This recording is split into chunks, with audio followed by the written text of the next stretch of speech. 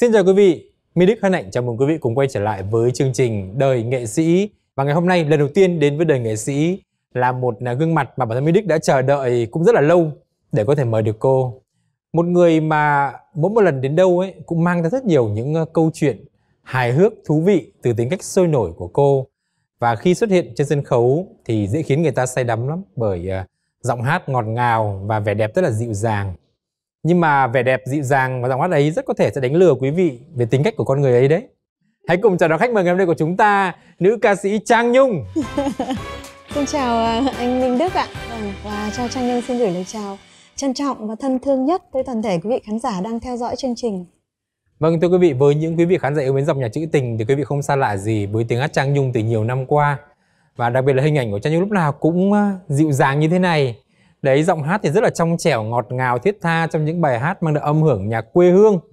Nhưng như minh đức nói đấy hình ảnh đấy phong cách nhẹ nhàng dịu dàng ấy rất có thể sẽ đánh lừa quý vị. Khi quý vị gặp gỡ trang nhung ở ngoài là một con người rất khác. Thì hy vọng ngày hôm nay tất cả những gì giống một khác ấy sẽ được trang nhung chia sẻ cho câu chuyện ngày hôm nay. Nhưng đầu tiên có lẽ quý vị cũng đã chờ rất lâu để được nghe trở lại tiếng hát mà quý vị yêu thích. Nhân dịp trang nhung quay trở lại hãy cùng bắt đầu chương trình ngày hôm nay với tiếng hát trang nhung Trang Nhung à, thân mến, nhân dịp Trang Nhung đến với chương trình Đời Nghệ Sĩ thì hãy bắt đầu câu chuyện ngày hôm nay bằng sự à, trở lại với âm nhạc đi. Chắc Nhung cũng nghỉ cũng hơi lâu rồi đúng không? Đấy và đã vâng chuẩn bị như thế nào cho sự trở lại lần này? À, vừa qua thì Trang Nhung cũng trở lại bằng à, một cái vài cái sáng tác mới của mình à, và ừ, Trang Nhung chủ yếu là trở lại mang đến cho quý vị khán giả những cái thông điệp có ý nghĩa thông qua các ca khúc của Nhung. Có thể ca khúc đó nội dung vui hay là buồn thì cái thông điệp ở đó nó luôn luôn là tươi sáng vì Nhung nói đến việc là Nhung quay trở lại với những sáng tác riêng của mình. Đây là điều cũng khá bất ngờ vì trước đây mọi người ít khi được nghe những bài Nhung sáng tác lắm. Và cho dù là sáng tác như thế nào thì như mới Đức nghĩ là chắc hẳn nó cũng sẽ bắt nguồn từ những trải nghiệm trong cuộc sống riêng từ những suy nghĩ riêng của Trang Nhung. Vậy trong những cái ngày mà gọi là nghỉ hát những ngày mà ở nhà gọi là ủ mưu ấy thì uh, bản thân Nhung đã cảm thấy cuộc sống của mình nó thay đổi như thế nào để ngày hôm nay mình quyết định đưa tất cả những cái trải nghiệm riêng của mình đến vào trong những cái bài hát đó? Thực sự thì uh, chắc là quý vị uh, theo dõi Trang Nhung nếu quan tâm đến Trang Nhung thì cũng biết rằng là Trang Nhung không có uh, nói cái gì quá nhiều hay quá sâu về cái cuộc sống uh, uh, gia đình cũng như những trải nghiệm của Trang Nhung. Nhưng mà quý vị nghe các ca khúc của Nhung thì chắc quý vị cũng uh, thấy. Thực sự thì Trang Nhung ngoài việc lập gia đình rồi có con rồi à, làm việc cùng ông xã trong công ty và nhiều những cái việc xung quanh mình nữa. Rồi à, những việc xã hội mình cũng à, tham gia được, gọi là, chút chút. Thì bên cạnh đó, trang nhung có những người bạn đồng hành với nhung trong cuộc sống. Có rất nhiều những cái cung bậc cảm xúc cũng như là màu sắc của các anh các chị trong cuộc sống mà luôn luôn các anh các chị tìm đến nhung chia sẻ. Bên cạnh đó thì nhung thấy là có nhiều lúc Ờ, nhung nghe những câu chuyện của họ nhung cũng rất là bí bách và không không biết phải khuyên như, như thế nào. Thế là nhung sáng tác những ca khúc này hoàn toàn dựa trên những cái gì mình chứng kiến mình trải qua thì nó quá là tốt và mình mang thông điệp đến cho mọi người. Đúng là trong cuộc sống thì mỗi người sẽ có những cái lựa chọn khác nhau.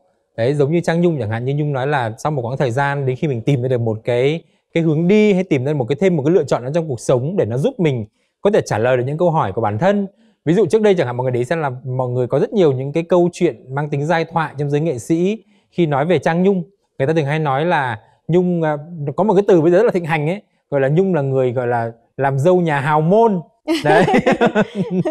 Tức là có một ông xã rất là giàu có và có một cuộc sống gia đình rất là đầy đủ. Có thể nhiều khi người ta cũng nghĩ là vì cái chuyện đó vì mà cuộc sống gia đình nó quá yên ấm nó quá đủ đầy nó cũng không khiến một người như nhung có nhiều cái động lực hơn trong cái việc ca hát.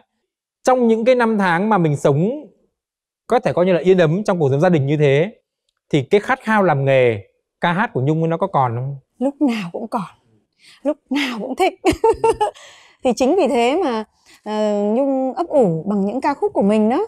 Thế nhưng mà cái cách làm nghề của nhung nó khác là bởi vì sao bên cạnh nhung còn có những đứa con ừ. còn có gia đình nữa và cái cái cái tính cách của nhung ờ, sôi nổi vậy thôi nhưng mà cái cách mà đi đường đi trong hạnh phúc thì cũng rất là truyền thống. Cho nên là nhung à, luôn luôn muốn làm sao để giữ trọn vẹn được cái gia đình cho các con. Đấy cho nên là nhung cố gắng hết sức làm nghề bằng cái cách của mình. Nhưng mà khi mà nhung nhung đam mê nghề như vậy á nhung đi hát như vậy thì tự nhiên là uh, quay trở lại để ý đến con cái sau 3 4 tháng tập trung vào hát á thì thấy con cái là việc học đi xuống việc sắp xếp lịch ờ, ăn uống ngủ nghỉ nó lại bị lộn xộn. Thế thì không có ai có thể thay thế được người mẹ cho nên nhung lại phải gác nó lại và nhung lại thôi ủ mưu sau vậy. À, ví dụ như chương trình à, à, tuyệt đỉnh tranh tài thì nhung cũng không nghĩ là mình đi hát. Tự nhiên là anh huy tuấn ấy, nhạc sĩ huy tuấn điện nhung ơi mày có còn thích hát không? Thế bảo là có ạ à, nhưng mà anh nói làm sao? Em cũng chưa bao giờ nghỉ hẳn cả. Em vẫn đi hát nhưng mà chương trình nào phù hợp thì em mới đi. Phù hợp thì anh nói là phù hợp thì chưa chắc đã phù hợp bởi vì là mày ở trong gia đình kỹ ừ. quá. Thì uh, bây giờ thế này nhá anh hỏi ông xã em nếu ông xã em đồng ý thì em có hát không? Có chứ ạ. À? thế là anh ấy đến anh hỏi thì anh ông xã em đồng ý. Tại vì một cái chương trình như vậy thì anh minh biết rồi. Mình bỏ hẳn thời gian ra ba bốn tháng cơ mà ông không thể ít được. À, tập luyện rồi tập nhảy tập bài hát mới rồi đi làm nhạc nó đủ thứ chuyện hết. Thì hầu như là không để ý được đến các con. Nhưng mà sau cái đợt đấy thì mất hút.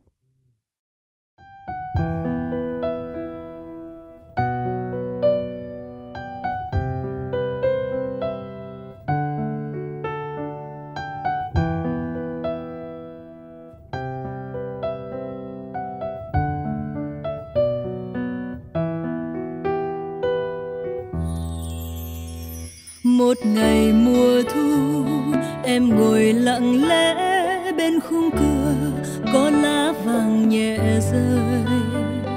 Anh có bao giờ nghĩ đến cho em những phút giây em đang cô đơn? Rồi mùa đông qua, xuân hình như đến, em ngỡ mình như vẫn còn được anh khẽ vỗ về, mang đến cho em những phút giây ta quấn chặt vòng tay.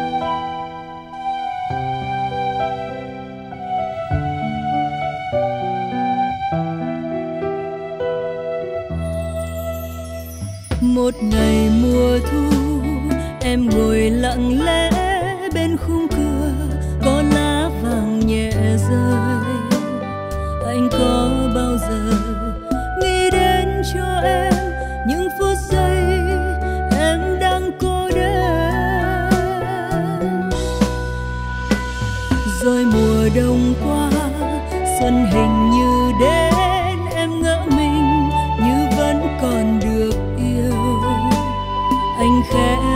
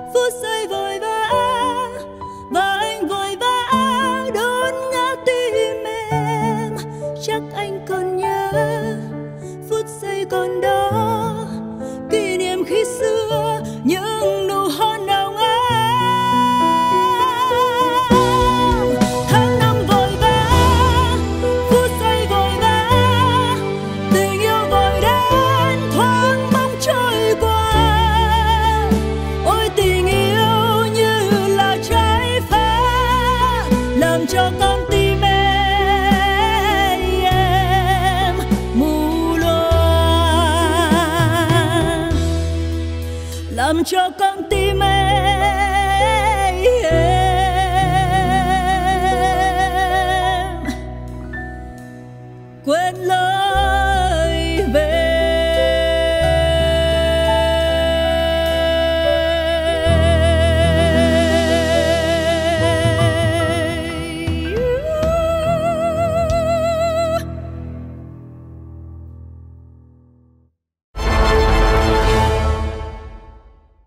Minh Đức cố tình để cho Nhung kể về cái hành trình của Nhung trong một cái game show truyền hình để thấy là Nhung có khả năng biến hóa như thế nào.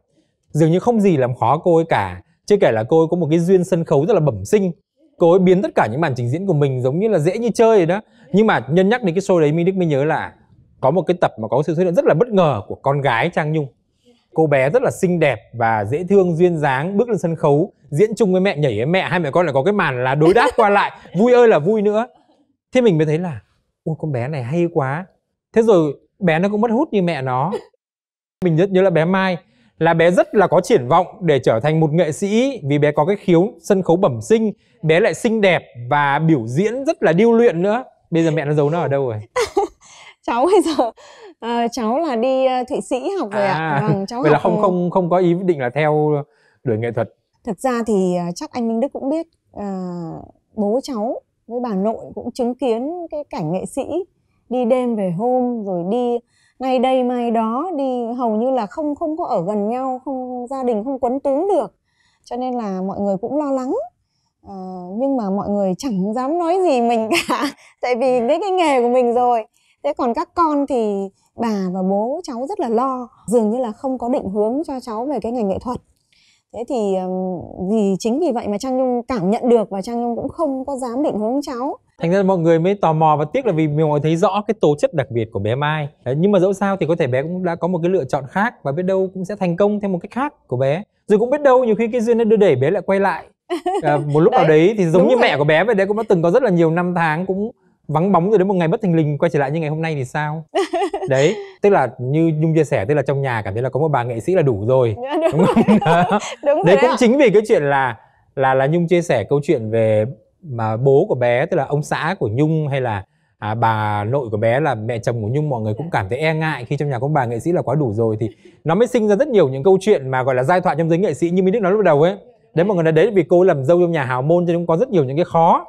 Đấy ừ thì được cái này thì mất cái kia được một cuộc sống gia đình đủ đầy thì nhiều khi cũng sẽ bị những cái ràng buộc này kia khiến cô ấy không thể bung phá trong sự nghiệp được. Đối với nhung đi nếu như bây giờ ấy, mọi người vẫn còn hỏi nhung về cái việc là đứng trước những cái lựa chọn như vậy một là được tự do để làm nghề để bung phá để có thể nổi tiếng hai là sống trong một cái à, gia đình yên ấm như vậy đôi khi có phải chấp nhận cả những cái sự nhường nhịn để mà không được làm nghề nữa thì đối với nhung ở, ở thời điểm bây giờ đi nếu mà nhìn lại như thế thì nhung thấy là lựa chọn nào sẽ tốt hơn cho mình? Thực ra thì ờ, nếu em là đàn ông thì em sẽ lựa chọn sự nghiệp.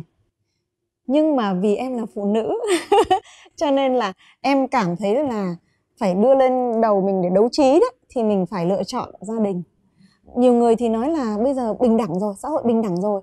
Nhưng nhung thấy rằng là nếu như mà phụ nữ thì anh phải là phụ nữ. Chứ phụ nữ mà anh cứ đòi như đàn ông thì không được, đúng không? Bình đẳng kiểu khác, nhưng tự mình mình phải hiểu tự mình thấy và tự mình phải kiềm chế lại chứ còn đòi bình đẳng giống đàn ông thì thôi làm đàn ông luôn đi. Nhưng mà làm làm sao được? Là nữ nha không làm được. Là nữ nha. Đấy một cái giọng điệu rất là dí dỏm như thế nó rất khác với một cái hình ảnh lúc nào cũng rất là hiền lành dịu dàng thướt tha ở trên uh, TV phải chăng chính cái tính cách mà hài hước dễ thương và hồn nhiên như vậy á nó giúp Trang Nhung đi qua được cả những cái thử thách đi cả những cái lựa chọn rất là khó khăn trong cuộc sống. Dạ đúng đấy ạ vâng tức là việc gì là cũng cứ cười là xong. Vâng ạ tức là cũng ờ, nói vui thì là cứ cười là xong. Nhưng mà thực ra thì ờ, em không biết mọi người thế nào. Nhưng mà với em thì em rút ra được một cái kết luận phải chia sẻ yêu thương. Thì sẽ vượt qua rất là dễ dàng. Mình phải biết yêu thương thì em nghĩ là cũng mấy chục năm mình cho đi thì bây giờ có thể mình đã được nhận lại rồi ạ. Ừ, và trong mấy chục năm cho đi đấy tức là có thể coi như chấp nhận là tạm hy sinh cái sự nghiệp của một nghệ sĩ rất là triển vọng một ngôi sao rất có thể thể sẽ tỏa sáng rực rỡ ở cái thời điểm thuận lợi nhất trong nghề để chuyên tâm làm à, người vợ làm người mẹ. Để đến bây giờ trở lại cũng hơi bị uh, rực rỡ. Đấy bản thân Minh Đức và một số những người bạn bè trong nghề những người cũng có làm việc và chơi với Trang Nhung từ những ngày đầu mọi người cũng rất là bất ngờ. Vì thấy uh, trở lại lần này thấy rực rỡ quá. Bức ảnh nào cũng sặc sỡ sắc màu áo rất là nhiều tua rua rất là nhiều họa tiết và đặc biệt là hát cả tiếng Anh nữa. Điều mà trước đây người ta chưa bao giờ thấy. Hiếm ạ tức Ừ, là đấy. ngày à, lúc em ở Hà Nội đấy mà em làm một cái live show riêng á trong đó đã có hát cái bài à, My Heart Will Go On rồi. Thế nhưng mà à, lúc đó thì chưa có ca sĩ nào mà đi nhiều dòng nhạc trong một show hết á. Thì các thầy cô có nói là ừ, Nhung ơi thế mày làm sao đấy? Sao mày lại đi xếp gì mà xếp loạn xị ngậu dòng nhạc ở trong một cái show thế? Mắng á. Thế xong rồi em, tại vì cái cái cách nghĩ của em khác, cách nhìn của em khác, em muốn thành là cái người ca sĩ. Nếu mình hát được nhiều thể loại thì em thích làm như vậy cơ. Em thích biến đổi như tắc kè đấy. Thì đầu tiên em sẽ hát bài à, ca dao em và tôi đấy cắt nửa vầng trăng tôi làm con đò nhỏ. Điệu lắm. Thế xong rồi xong rồi mc ra giới thiệu cái là em vào bỏ cái đồ tứ thân ra là em hát cái bài, một ngày nào đó nếu anh dương sẽ không còn, loài người chìm trong đêm giá băng. Hát cái kiểu đấy. Thế xong rồi, chắc nữa thì lại hát cái bài ờ, bài Titanic, ví dụ như thế em thì em muốn là như nào lúc nào em mang niềm vui cho mọi người thì khi xem người ta cũng phải hứng thú hào hứng. Có tính giải trí đây là Đấy, đấy, chương có trình có tính- tính giải trí. Đúng đúng rồi ạ. Đấy lúc đấy đã nghĩ như vậy rồi. Thì là là em thấy mọi người vui á. Chứ còn bây giờ nếu em cứ đứng em như này mãi thế này từ đầu đến cuối thì em sợ nó nhàm chán ấy. Đấy mọi người thấy thực ra như những người đã biết Trang Nhung từ trước ấy là mọi người đều thấy là bản thân Nhung là một người có tính cách rất là giải trí. Vì cô rất là hài hước và khi biểu diễn cũng như vậy cho nên là khi mà cô ấy tham dự game show truyền hình ấy mọi người rất là giải trí với những phần trình diễn của cô ấy. Nhưng mà đa số khán giả chúng ta vẫn thấy Trang Nhung trong một hình ảnh rất là truyền thống. Lên sân khấu là mặc áo dài phải không thướt tha hoặc áo tứ thân hát những bài nhạc quê hương. Anh biết tại sao không? Là vì đa số em hát cho đài truyền hình thì anh hát toàn những bài nhạc quê hương hay là dân can bắc bộ ấy. Có phải là em ít đi hát ở ngoài không? Thì trên truyền hình sẽ toàn phát. Đến bây giờ khi mà Nhung đã cảm thấy là có thể thoải mái để quay trở lại và thậm chí có thể làm chủ được cả cái quá trình sáng tạo của mình một cách là tự sáng tác ra bài hát nữa. Nhất là khi mà cái, gọi là cái áp lực của gia đình nó cũng không còn nữa, con cái đã trưởng thành rồi, ông xã này cho thoải mái ờ, mà được làm gì thì làm. Nếu bây giờ quay trở lại đi thì Nhung đang định hướng hình ảnh của mình gần gũi dịu dàng thiết tha như trước hay là đầy tính giải trí? Em cũng lớn tuổi rồi, cho nên là em hát kiểu nhạc, gọi là trữ tình không quá quậy. Thực ra mọi người nhìn Trang Nhung người này vẫn còn rất là trẻ trung và xinh đẹp. Nói vui là trẻ hơn tuổi rất nhiều. Nhưng mà vì Minh Đức đã từng biết đến ờ, các cháu bé ở nhà Trang Nhung Ít ít nhất là có có hai bé mình biết đến nhiều hơn Là bé bé Mai là bé lớn và một bé nhỏ hơn là bé Ngọc. Vâng đấy, bé Ngọc bé Bích Ngọc, đó bé Bích Ngọc đã từng được kỳ vọng như là một ngôi sao nhí đấy. Nhưng mà hình như mẹ bé cũng giấu bé hơi kỹ ấy. nên là là bây giờ cũng không thấy lâu rồi không thấy bé xuất hiện. Các bé ở trong nhà ấy các bé đón nhận âm nhạc của mẹ như thế nào ôi rồi ôi trời. mẹ đón nhận á Ừ. buồn lắm anh ạ À. bởi vì bây giờ chúng nó là pop K-pop đúng không rồi là nhạc Mỹ rồi ờ, nhảy rất là đẹp và rất là mạnh mẽ nó không giống như mình anh ạ cho nên là nếu mà em em em bắt đầu em hát cái gì cái là nó nhẹ lúc nào. ôi dồi ôi nó cứ rên lên như thế. Ờ, con ơi nhưng mà cái đấy nó giá trị đấy con ạ. Mẹ không cho con thoát khỏi đâu. Con nhảy gì thì nhảy nhưng mà lâu lâu con vẫn phải hát những cái nhạc Việt Nam như thế cho mẹ. Mà quả thật là các bé năng khiếu em rất là mừng. Bởi vì uh, thỉnh thoảng em vẫn cho cháu đi thu âm và cháu vẫn hát trọn vẹn rất là đẹp. Thì em rất là mừng. Nếu mà bây giờ cho các bé xem lại những cái video của mẹ bé hát và nhảy từ thập niên 90 chắc là các bé cũng à, bất ngờ giật mình thấy mẹ của mình ngày đấy cũng cấp tiến ra phết đấy chứ. Đấy cái thời mà còn hát chung với ờ, nhóm MTM á mình được nhớ cái thời đó là cũng sôi nổi cũng dữ dội cũng bốc lửa lắm. Chẳng qua cái quãng thời gian đấy nó hơi ngắn. Đấy cho nên mọi người chưa có kịp chứng kiến nhiều dấu ấn của Trang Nhung hơn thôi bởi vì Nhung cũng là một nghệ sĩ như Minh Đức nói đấy.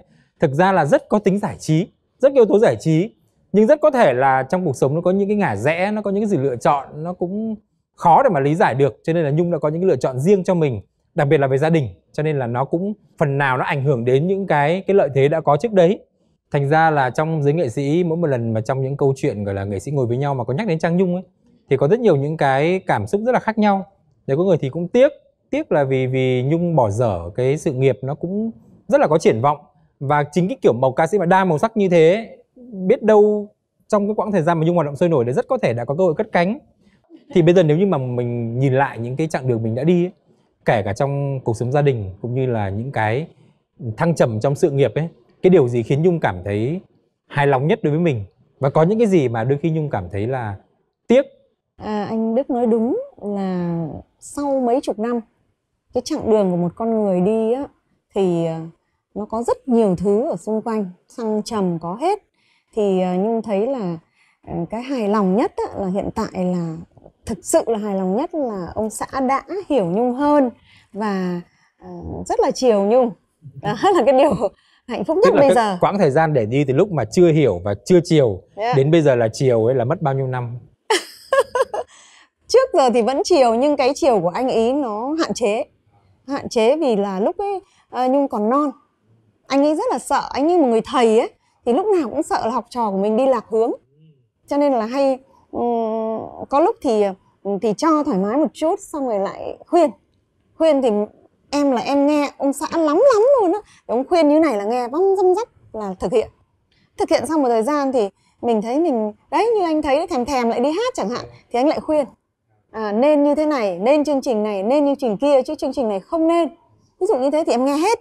Nhưng bây giờ thì uh, khi mà em ngoảnh lại đó thì em mới thấy là mình thiếu hụt rất là nhiều và có nhiều cái thì mình lại quá tự ti và mình lại quá thụ động. Thì nếu như mà em được ở đây thì là em được ông xã à, hiểu hơn yêu thương hơn và các con cũng hiểu mẹ hơn. À, nhưng mà cái mà em vẫn nuối tiếc là mình quá ngốc nghếch. Nếu như mình hiểu đời sớm hơn thì mình đã biết sắp xếp hơn. Nếu em sắp xếp hơn thì có lẽ có thể em đã làm nghề được nhiều hơn nữa.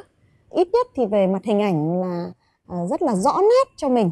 Hoặc là về một cái mặt nữa là về tài chính. Có thể là mình đã à, cũng có một khoản rất là độc lập cho mình. Đấy thì em em nghĩ như vậy. Các anh chồng cũng rất là hiểu. Bởi vì các anh chồng em thấy rằng là à, chẳng bao giờ anh cấm đoán em như tự mình mình cứ thấy ái ngại rồi mình thụt lùi lại. Chứ thực ra thì anh cũng nhiều lúc cũng muốn là mình hiểu biết hơn. Rồi mình đi học đi va chạm hoặc đi hát như này cũng va chạm rất là nhiều thì mình sẽ hiểu ra được rất nhiều điều thì mình mới dạy được con cái. Cho nên là có những quãng thời gian em thấy là em dạy con không đúng. Nhiều cái nó nó, bị thái quá. Đó, bây giờ em biết cách buông bỏ hơn. Em dạy một cách làm sao mà giống như là mình ở bên cạnh hoặc là nhìn từ xa theo dõi và định hướng chứ không phải như trước cứ phải chi tiết tí tí tí tí một nữa. Thì tự nhiên mình mất hết thời gian và mình cũng tự nhiên làm phiền con mà mình không biết. Đó thì bây giờ em nghiệm ra nhiều điều như vậy đấy mọi người thấy không? Câu chuyện về một cái hành trình của trang nhung đấy từ A đến B cho đến X Y Z như ngày hôm nay nhung chia sẻ đó là một hành trình mình nghĩ là rất là truyền cảm hứng đấy. À, cho nên bảo tại sao nhung có nhiều người bạn tìm đến để chia sẻ kinh nghiệm sống như vậy?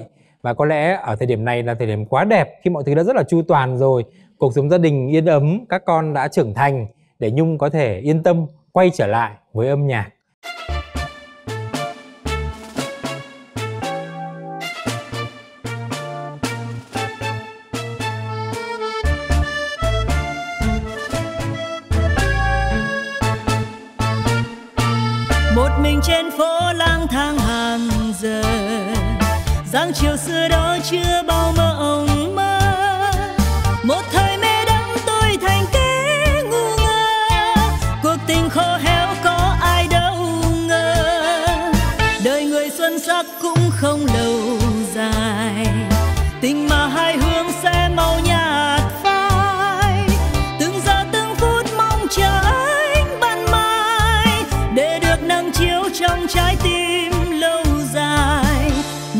Thương còn đây anh ơi khát khao chung đôi chưa vơi.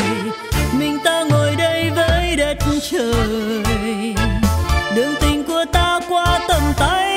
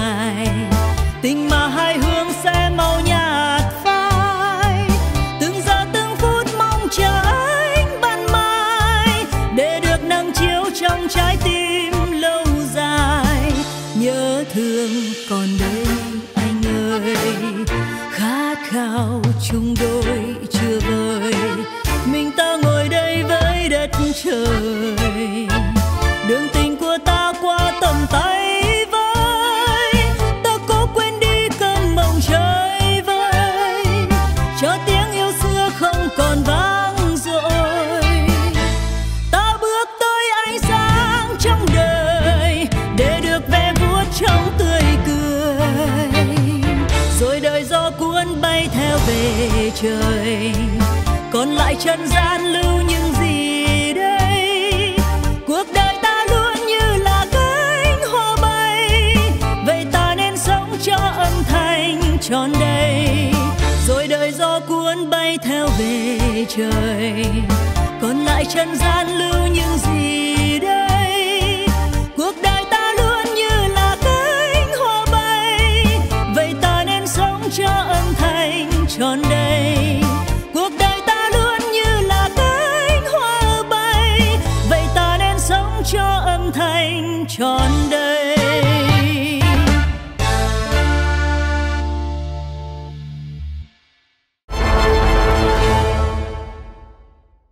Xin cảm ơn Trang Nhung và cảm ơn quý vị đã theo dõi câu chuyện ngày hôm nay của Minh Đức và nữ ca sĩ Trang Nhung. Trang Nhung xin cảm ơn quý vị khán giả đã theo dõi chương trình và đã ủng hộ cho chương trình rất là nhiều và Trang Nhung cũng à, mong là quý vị khán giả còn nhớ đến Nhung và còn ủng hộ Nhung trong sự nghiệp ca hát ạ. Vâng, xin cảm ơn rất nhiều. Chuyện là thú vị hấp dẫn như thế đã đến với quý vị trong chương trình Đời Nghệ Sĩ. Và đến đây thì Minh Đức và nữ ca sĩ Trang Nhung cũng xin là thân ái gửi lời chào tạm biệt và hẹn gặp lại. Một người nghệ sĩ lúc nào cũng tràn đầy năng lượng trên mọi sân khấu mình xuất hiện với nụ cười rạng rỡ và giọng nói giọng hát truyền cảm. Đó là ca sĩ MC Quỳnh Hoa trở lại với đời nghệ sĩ. Quỳnh Hoa mang đến một câu chuyện rất khác lạ, có thể coi như một cẩm nang độc đáo về cách để xuất hiện, tỏa sáng và thể hiện dấu ấn dưới ánh đèn sân khấu. thì họ đã tập cho mình một cái thói quen từ khi mà mới ra trường đó là mình cảm nhận như thế nào thì mình chia sẻ đúng như vậy. Mình chọn cái cách là mình sẽ rất là chân thành để chạm đến trái tim mọi người. Đón xem câu chuyện đời nghệ sĩ dưới ánh đèn sân khấu cùng sự trở lại của MC ca sĩ Quỳnh Hoa